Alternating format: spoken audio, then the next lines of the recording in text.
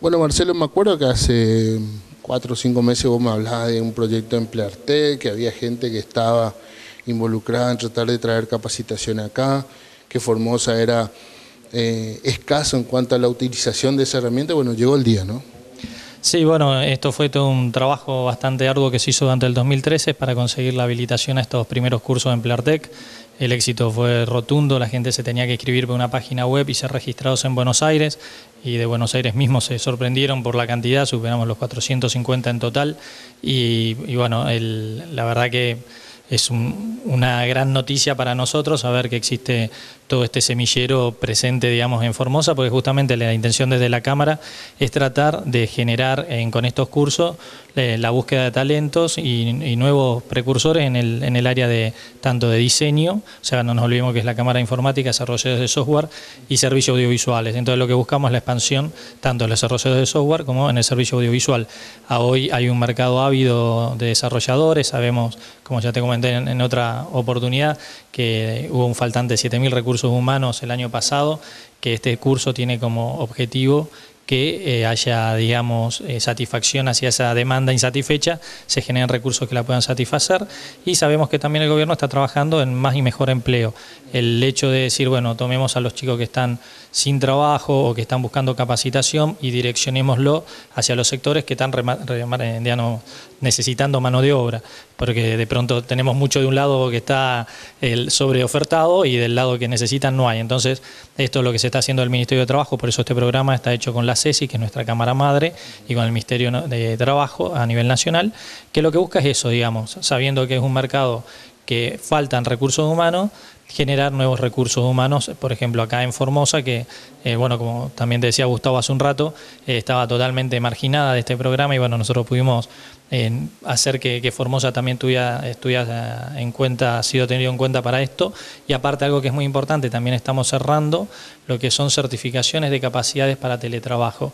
Esto significa que todos los chicos que egresen de acá van a poder trabajar vía teletrabajo con empresas de Buenos Aires, por ejemplo, Rosario, Córdoba, y esas empresas van a tener beneficios por contratar a estos chicos.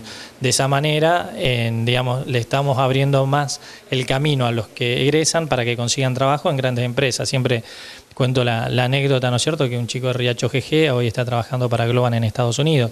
O sea, el, en, en, estas, en este tipo de habilidades, digamos, como son la de informática, o sea, programación de Java o diseño 3D, lo importante es el talento. a veces, si uno accede al conocimiento, ya después esta pequeña semilla que se pueden llegar a dejar o a germinar en estos tres meses va a dar fruto dependiendo del talento que cada uno tenga. Creo que el ejemplo de este chico, digamos que su digamos, capacidad, capacitación que habrá tenido en Racho GG habrá sido menos cero, digamos, pero sin embargo ya tenía un talento natural y bueno, y al encontrar digamos, su, sus capacidades en el área de informática eh, logró este tipo de proyección. Y eso es lo que tratamos de buscar desde la Cámara, ¿no es cierto? No solo encontrar recursos humanos para las propias empresas que integran la Cámara, sino también para que haya nuevos emprendedores en el sector. Marcelo, eh, de los 20 o 30 que tenían que inscribirse, bueno, 40 que estaban para inscribirse, que podían participar, hay 400. Se le genera un lindo problema ahora, digo lindo porque hay que ver cómo lo podemos eh, ayudar a esa otra gente que lamentablemente no puede participar. Sí, tal cual, eh, eh, es, es, un problema. Es un problema lindo. Un problema lindo, sí, tal cual. Claro, no, no, sí, realmente, o sea, como te decía, incluso de Buenos Aires se sorprendieron y bueno, vamos a tratar de buscar generar nuevos cursos hay un espectro amplísimo de temas, digamos, desde en, redes estructuradas, la parte de, estructuras de redes, pasando por eh, servidores, por eh, MySQL, Oracle. Hay millones de cursos que podríamos estar dando. Nosotros particularmente, como estamos trabajando en que Formosa se posicione en lo que son los advert games, o sea, en los juegos publicitarios en los juegos educativos, es que hemos hecho foco en estos dos cursos, porque bueno, vos también fuiste difusor de éxitos concretos que hemos tenido en la Copa Claro, en el coloquio de idea, en, el congreso que hubo de economía, bueno, cuando el año pasado salíamos por América TV hablando de marketing digital. Entonces, bueno, Formosa está teniendo una presencia y un determinado respeto en, el, en este segmento y es el que tratamos de decir, bueno, acá hay mucho mercado, vamos a compartir y vamos a generar más negocios en, esta, en este mercado. Pero como decía, hay un abanico muy grande de cursos y ahora estamos trabajando justamente en, vamos a hacer un relevamiento de todos los que han quedado afuera de curso, que como vos decís, la verdad son muchos, y vamos a hablar con la CESI para ver cómo podemos habilitar más módulos sin tener que esperar al segundo trimestre, o sea, a ver si podemos hacer algo para junio, ese es nuestro objetivo. Bueno, Marcelo, y también aprovechando la belleza de las instalaciones que nos ofrece la Federación Económica también, entrenando prácticamente. Sí, bueno, este edificio es flamante, nuevito, y bueno, es una lucha que siempre se, se propuso la Federación Económica, generar un espacio que sirva para estas cosas, ¿no es cierto? Para la capacitación, para que el sector empresarial pueda crecer teniendo las armas del conocimiento de su lado, y e, era necesario contar con este espacio. Acá, bueno, como vos has recorrido, hay auditorio, hay salones de capacitación, hasta un quincho, o sea, Está todo pensado para que el empresario encuentre en su casa madre digamos, o sea, no nos olvidemos que la federación aglutina a cámaras, ¿no es cierto? Entonces, eh, la federación abre sus puertas a todas las cámaras, o sea que dentro de cada cámara a su vez hay un montón de otros empresarios de distintos rubros agremiados, entonces, bueno, esto es una casa que está pensada para dar eh, cobijo a una gran cantidad de, empresarios y sobre todo para este, este tipo de actividades, lo que es capacitación. Nos acompañabas vos hace unos 10 o 15 días cuando presentamos la ley de software, lo cual también es muy importante para todo esto, las ventajas que les, el fisco les puede dar a las empresas desarrolladas de software o de servicios audiovisuales. Y bueno, fue importante que en ese caso contáramos con la presencia de legisladores y de representantes de la Secretaría de Ciencia y Tecnología.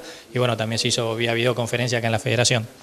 Marcelo, por último, aprovechamos tu tiempo y ¿qué otras actividades hay de acá en este primer semestre del año? Bueno, en lo que respecta a la, Cámara en sí, vamos a seguir trabajando con la ley de software y como te decía, con la aprobación también de estas normas de teletrabajo.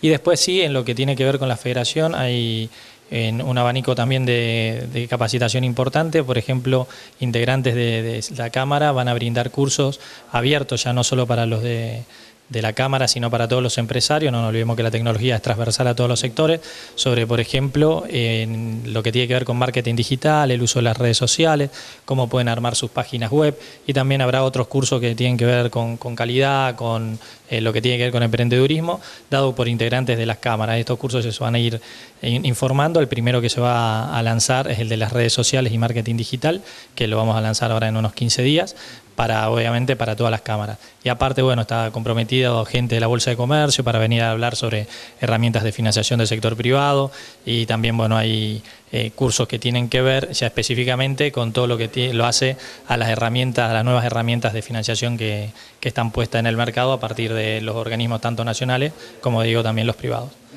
Bueno, Marcelo, no te quitamos más tiempo. Muchísimas gracias, muchísimas gracias por todo el esfuerzo que vos estás haciendo de Buenos Aires acá y de acá a Buenos Aires para, para que la gente de acá pueda de alguna manera, por ahí los chicos también ganarse unos pesos capacitando y nosotros también aprendiendo un poquito más y darnos la posibilidad a nosotros a través del programa que podamos informar a la gente de lo que se está haciendo aquí, tanto en la, desde la Cámara de Software como en la Federación Económica. Sí, así es el, objetivo, tratar de utilizar todas las herramientas que existen hoy y dar posibilidad para el crecimiento de la, de la provincia, ¿no es cierto? Sabemos que la riqueza de cualquier provincia, de cualquier región, está en, en, la, en el valor de la masa cerebral de sus habitantes, ¿no es cierto? O sea, eso es lo que determina. Si uno va a Silicon Valley, un lugar hiper chiquitito, genera más riqueza que todas que grandes naciones del mundo. son apenas un par de hectáreas, pero bueno, ahí está concentrado en Estados Unidos toda la materia gris de, de, una, de un país. Y eso es lo que genera riqueza. Entonces a eso apuntamos. ¿No es cierto?, a, generar capacitación y realmente vale la pena cuando hacemos todo este esfuerzo y vemos, como te decía, un, exceso, como recién mencionábamos en Inscripto. Así que vamos a seguir en la misma línea. Bueno, muchísimas gracias. No, gracias a vos.